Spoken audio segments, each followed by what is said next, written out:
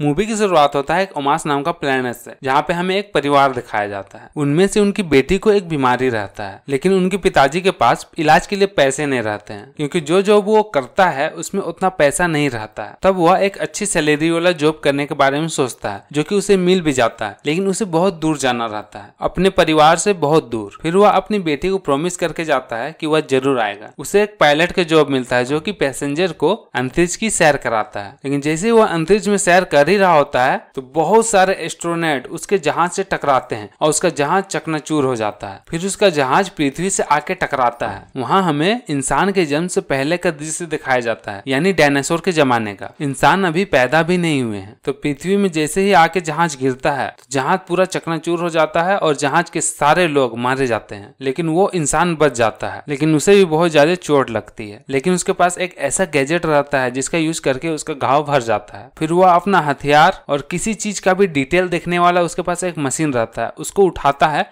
और वह वहाँ से जाने लगता है। लेकिन वहाँ उसे एक लड़की मिलती है। वो बेहोश हो जाती है। तब उसे उठा के वह एक घर में ले जाता है। फिर जैसे सुबह होता है तो वह उस जगह का मुआयना करने के लिए जाता है। लेकिन तभी वहाँ एक छोटा सा डायनासोर उस पर हमला कर देता है। लेकिन किसी तरह वह उस डायनासोर को मार देता है।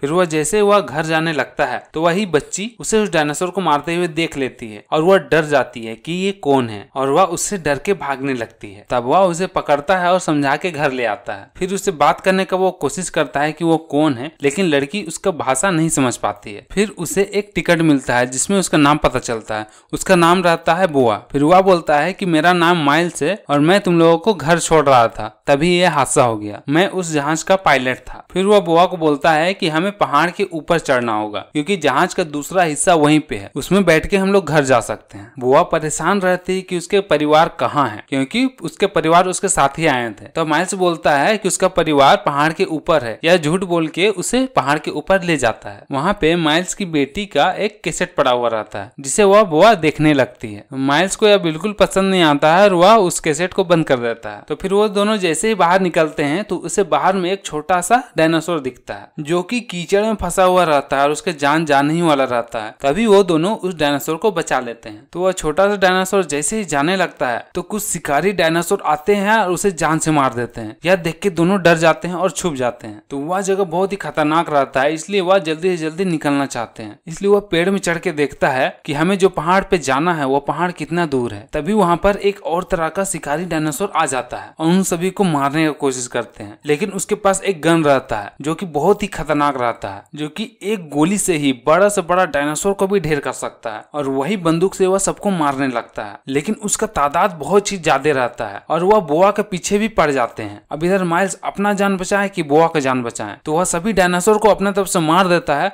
और बोआ के पीछे जो डायनासोर जाता है, उसको भी वह मार देता है। यह देख के बोआ बहुत बुरी तरीके से डर जाती है, लेकिन माइल्स उसका डर खत्म करवाता है और एक पहाड़ यानी गुफा के पास उसे ले जाता है, ताकि वहाँ वह रात गुजार सके और सुबह होते ही वह पहाड़ की ओर चल पड़े। लेकिन रात को जैसे ही वह सोती है, उसके मुँह में एक कीड़ा घुस जाता है, जो कि बहुत ही खतरनाक रहता है। लेकिन माइल्स किसी तरह उस कीड़े को उसके पेट से निकालता है। इधर उसके पेट से कीड़े को तो निकाल देता है, लेकिन वहीं पे एक बड़ा सा डायनासोर बगल में आ जाता है और उनको मारने का कोशिश करता है। लेकिन वह उससे बचते बचाते उसी के बगल में एक गुफा में अंदर चले जाते हैं। अब वह उसी रास्ते से तो बाहर निकल नहीं सकते, क्योंकि वहाँ पे डायनासोर रहता है, वहाँ वहाँ पे फंस जाते हैं। बस उसके पास उस बंदूक का वो गोली रहता है, जो कि बंदूक की तरह चल भी सकता है और बम की तरह फट भी सकता है। उसी गोली की मदद से वह एक छोटे से जगह पे उसे रखते हैं और उड़ा देते हैं, जिसकी वजह से छेद बनता है और बुआ उस छेद से निकल जाती है। लेकिन माइल्स उसमें फंस जाता है, क्योंकि पत्थर गिरता है और वो जगह मुंदा जाता है। बुआ जैसे ही बाहर आती है तो उसके पीछे एक डायनासोर पड़ जाता है। तो वह अपना दिमाग लगाती है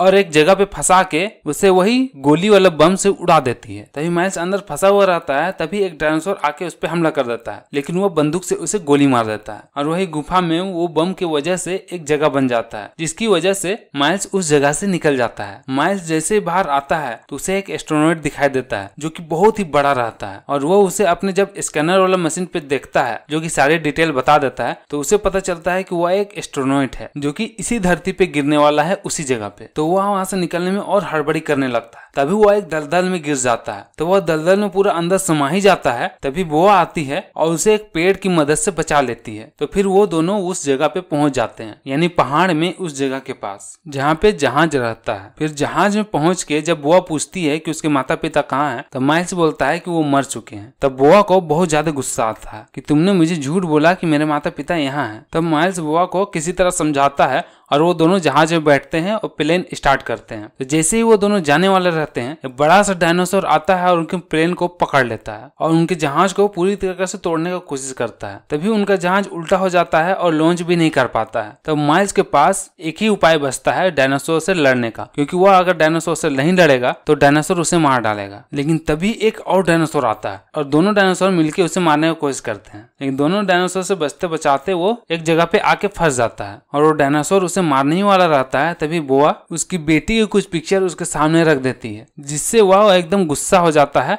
और एक डायनासोर को एक गोली मार के वहीं पे ढेर कर देता है। तभी दूसरा डायनासोर बोआ को मारने के लिए जाता है और मारने के चक्कर में उसके जहाज़ को वह सीधा कर देता है। फिर माइल्स गुस्से में उस डायनासोर को बहुत सारी गोली मारता है। जितना बंदूक में रहता है, सारा गोली उसे मार देता है और वह डायनासोर वहीं पे मर जाता है। जब वह सोच ही रहा होता है कि सारा झंझट खत्म हो गया, लेकिन तभी और एक डायनासोर आ जाता है। अब उसके पास बंदूक में गोली भी नहीं बचता है। तब वह भागता है भागता है और बोआ और माइल्स दोनों मिल के ज्वालामुखी के पानी से उसकी बॉडी को पूरा जला देता है और वह डायनासोर वहीं पे मर जाता है। फिर वो दोनों जहाज़ पे बैठते हैं और वापस अपने घर चले जाते हैं और मूवी यहीं पे एंड हो जाती है। और दोस्तों, अगर आपको ये वीडियो पसंद आया तो लाइक और सब्सक्राइब ज़रूर करिएगा। मैं मिलता हूँ आपसे अगले वीडियो में, तब तक के लिए धन्यवाद।